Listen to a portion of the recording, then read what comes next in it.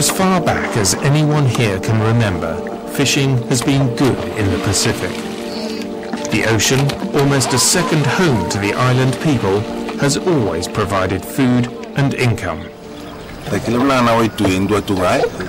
Naika naika.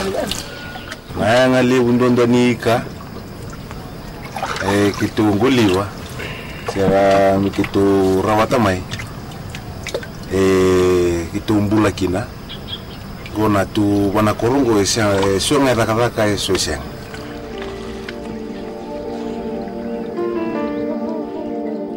Fishing is important in the Pacific, as important as life itself. Ikan man kay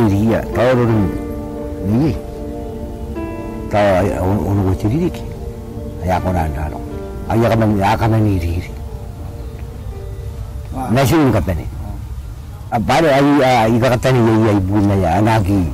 Ni kai mero anagi kama. Nara waro anagi makan daro.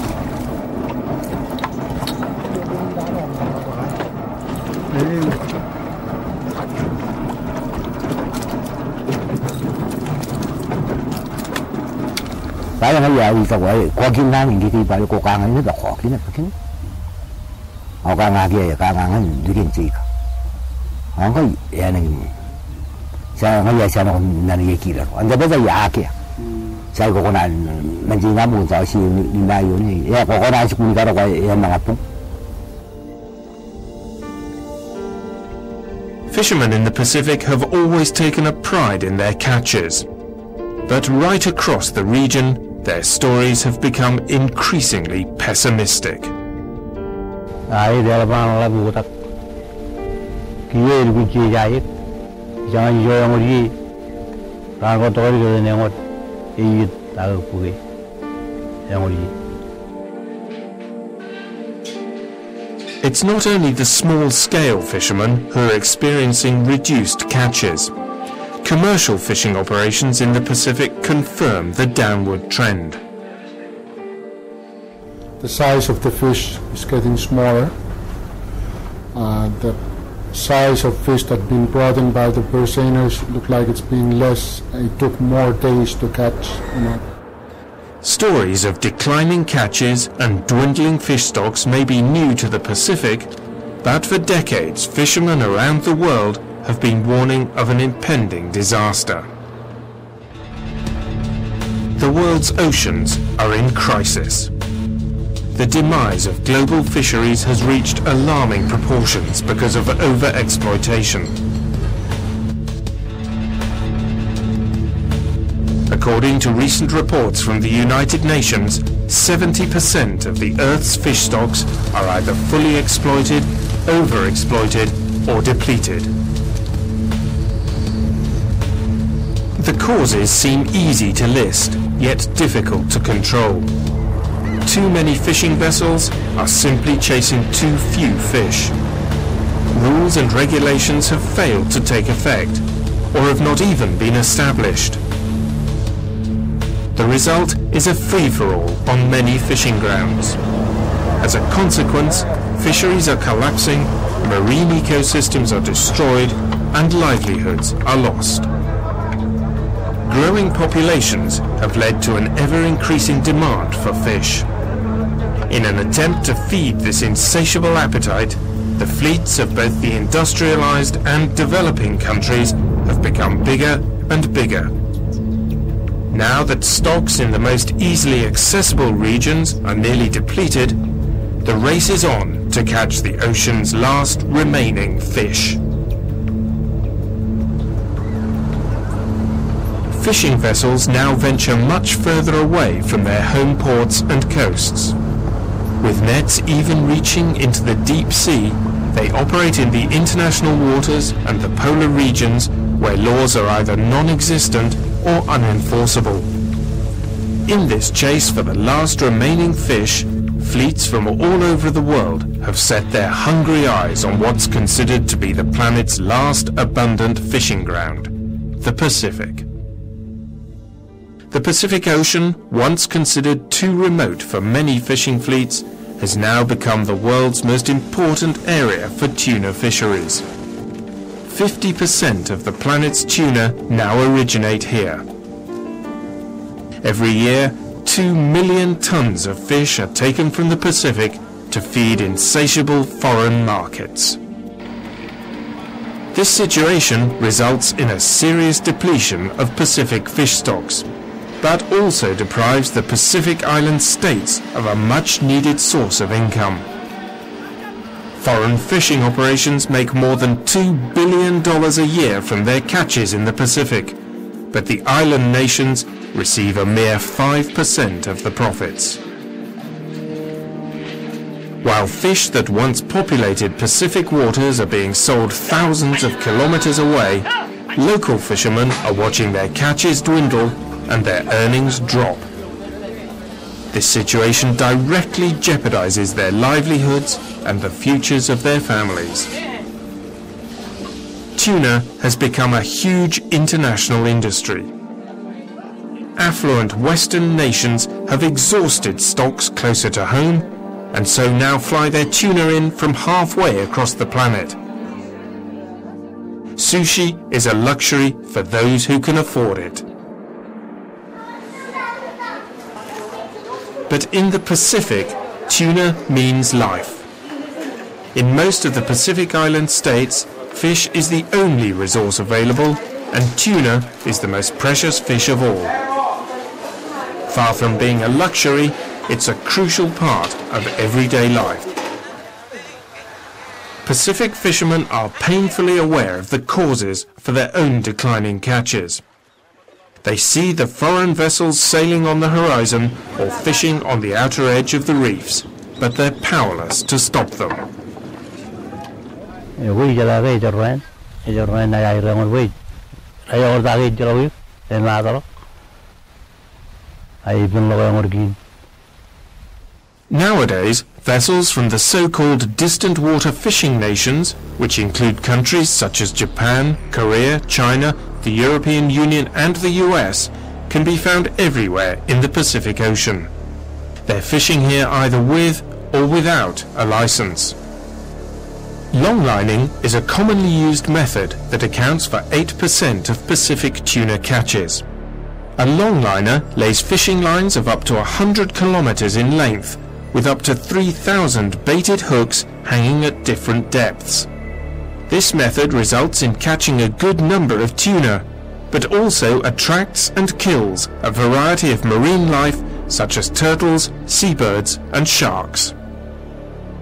In the race to catch as many fish as possible, the crew often work in shifts to allow operations to continue around the clock. But more than two-thirds of Pacific tuna are caught through a method known as purse seining. Once a school of fish is found, a powerful small boat is launched off the big fishing vessel. It then circles the school with a net, returning to the large seiner. The net is drawn tight or pursed at the base and hauled alongside, where a scoop simply empties out the large net.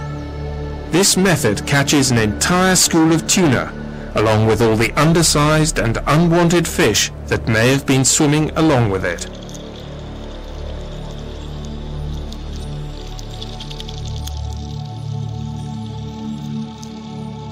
For the most part, the ocean is a vast blue desert. Floating objects such as this log provide a home and shelter to many fish and may develop into mini ecosystems. Commercial fish species such as tuna will also gather here, and this in turn will attract fishing vessels. But not everything that drifts here is natural. A radio buoy floating on the sea surface indicates the position of a man-made device for attracting fish, an ingenious construction of logs and ropes. In their search for schools of tuna, fishing vessels will home in on the radio buoys they set out earlier or use helicopters to scout the surface. With this level of technology, no school of fish is safe from the nets. And because both natural floating objects and man-made devices attract mainly young fish, purse seiners often catch many undersized tuna here. It's different now. they even catch a small one below four, four, uh, four pounds, four kilos. I'm sorry. Especially the boats from the from the Asia Pacific, they're gonna catch uh, any fish. Sometimes we throw away a lot of a lot of small size, you know. The wasteful practice of catching and then throwing away many undersized fish critically undermines the ability of fish populations to replenish themselves. But the purse seiners also catch a lot of unwanted fish and other marine life that is wasted as so-called bycatch. In the ocean, in the international water, uh, I don't think there's uh, a law. Uh, when there's a fish, there's money. Everybody wants to earn money for the company and for everybody because the crew are on tonnage. If they got no fish, they got uh, no money. Out here on the open ocean, there is often no authority to monitor the vessel's catches. And the prospect of easy money is a powerful incentive not to play by the rules. Pirate fishing vessels operate across the globe and have also found their way into the Pacific. These ships sail under what are known as flags of convenience of such countries as Belize, Georgia and Panama, making it easy to avoid rules and regulations. Because they fish without a license, the Pacific states receive no compensation for these illegal catches, while the pirates make fat profits elsewhere. Not only do the pirate fishing vessels ignore laws and regulations, they have no respect for the ocean's ecosystem, plundering whatever marine life they can find. Catching sharks simply to strip them of their valuable fins is outlawed in large areas of the Pacific, but the law is routinely ignored by the pirates. Often, pirate fishing ships will transfer their cargo to other ships on the high seas, out of sight of Pacific authorities. The large and unreported catches pirates take seriously contribute to the depletion of fish stocks and crucially undermine sustainable fisheries management. One way to deal with pirate fishing is by patrols that many of the Pacific Island states carry out in their national waters but the loophole of the high seas and the sheer size of the ocean make it nearly impossible to patrol the Pacific effectively. And pirates have more than one way to get off the hook. The battle that we fight, if, we, if I use that term, is a battle against multinational companies. Uh, we have uh, a lot of resources, they got the best lawyers, they got a lot of money. You have to have the support mechanism from government uh, to support us, the people that go to the front line and do these jobs. But Pacific governments often lack the money to pay for petrol and spare parts, and in reality, many of the patrol boats rarely leave their harbour. Governments in the Pacific are not always doing the right thing when it comes to fisheries. Apart from the pirate fishing problem, fish stocks are already being overexploited by licensed operators. Lured by the prospect of big business and foreign revenues, governments often hand out too many licenses with little consideration for sustainability. Corrupt government practices mean that the people often get no benefit from income from such fishing licenses politicians who are decision makers are involved in corruption. So negotiation about fishing industry and other industries normally end up in under-table dealings, which is a corruptive practice. Attacked on two fronts by both licensed and illegal fishing operations, tuna stocks in the open sea are already showing signs of depletion and the Pacific Islanders who depend on tuna are beginning to feel the effects. Well, if the tuna stock is collapsed, then the people will collapse. You, you go to any of the markets here, especially the fish markets, And what you find is people catching tuna every day and selling it at the market. People buy tuna to take home, which is part of their daily diet for protein. And the problem is coming closer and closer to shore. Pacific fishermen may depend on tuna for their income, but nearly all people depend on reef fish for their daily food. Now these too are becoming less abundant. These days, it's no longer only the foreign vessels that are fishing with industrial methods. Most Pacific nations now also have their own fishing fleets, often catching their tuna by pole and line. This fishing method depends on bait fish, which are caught on coral reefs. By night, these bait fish are lured into the nets of local fishermen in huge numbers. They themselves will be used to capture tuna the next morning. But the bait fish are crucial to the health of reef ecosystems, and their removal may have serious consequences. Now that tuna and other migratory fish are becoming scarcer, local fishermen will come to rely more on reef fishing. If the reef fish stocks also collapse, the effects on people will be disastrous. This is what's going to happen when the fish run out because now like they change their style of eating to buy tinned foods from the shops. Uh, they, they buy rice. You know, their, their livelihood, they have to change it around. Like instead of eating fresh fish, they now rely on, uh, on, on tinned food, which is not healthy and it affects their health.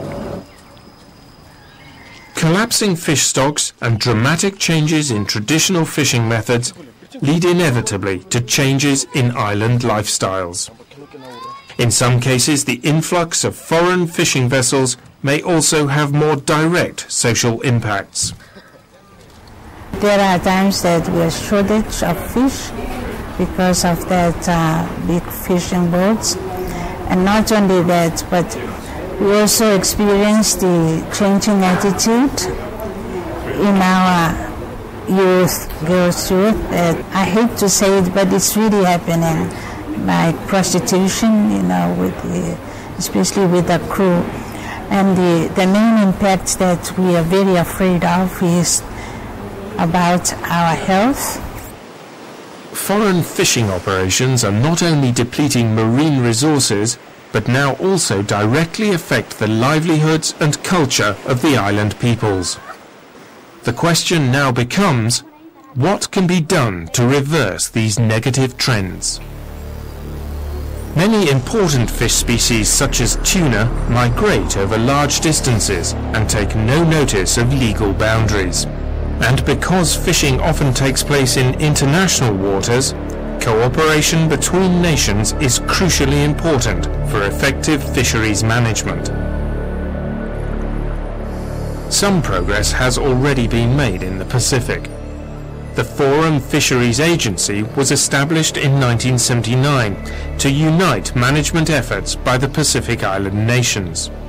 Since then, the FFA has created a positive register of ships that do adhere to the rules. It's also put into place a vessel monitoring system that allows fisheries authorities to track fishing vessels across the ocean.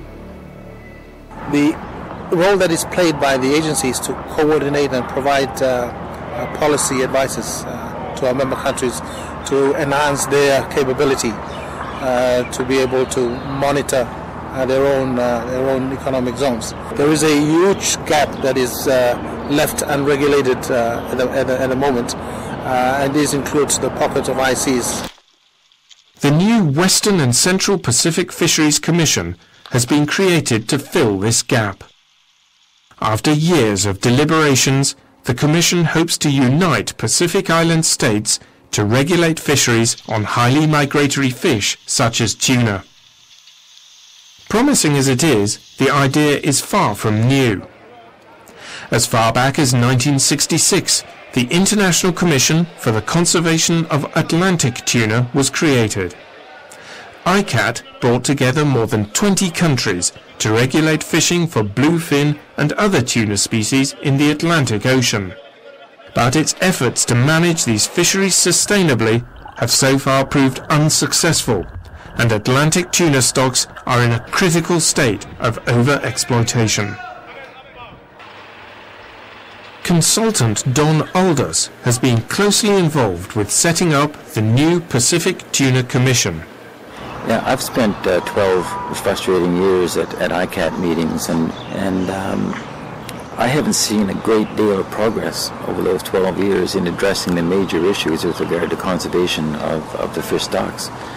And it's mainly because of um, the difficult stand that some members take to protect their own industry. The new commission may be effective in closing the legal loopholes surrounding the high seas and help in the struggle against pirate fishing. But perhaps more importantly, Pacific governments must also seriously reduce the catches of licensed fishing vessels. It's obviously not sustainable to, to uh, have a large fleet of super seiners continuing to fish in, in the Western Pacific. No, it's not sustainable. What is controllable is to have a, uh, a small fleet that involves some super seiners fishing under strict licensing guidelines and strict reporting practices, that may be sustainable.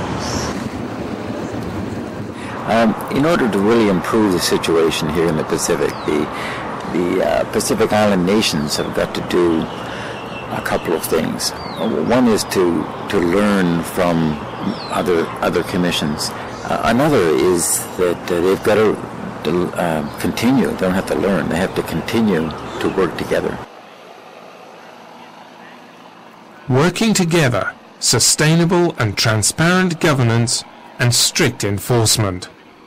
All of these are vital to save the Pacific fisheries. But working together means involving more than politicians and policymakers the people of the Pacific must be empowered to protect what is rightfully theirs. This will be an important challenge for the new Tuna Convention. I am sure when you go and talk in the rural areas, they don't even know what that convention is all about.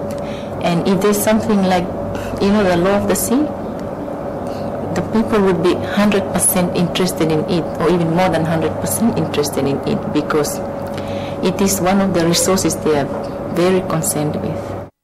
Ai dalang yo juan gin ai kabira no wa din de to turun jogi ni yang ore ko e marong e malo ka rang ndi wat i ja mana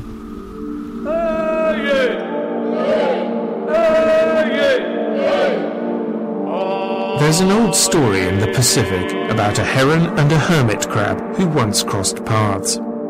Watching it crawling over the sand, the heron laughed at the hermit crab for being so slow. Insulted, the hermit crab challenged the bird for a race.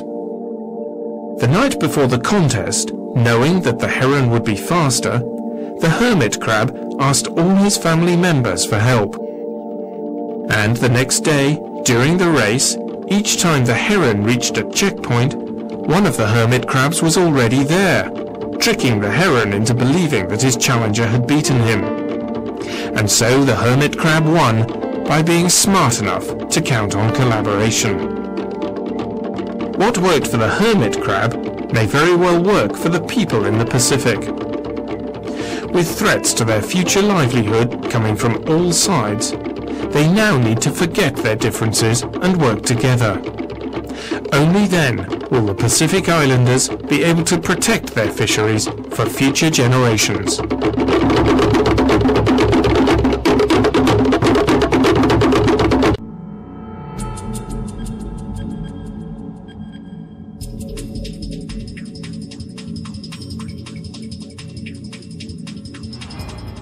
A life with without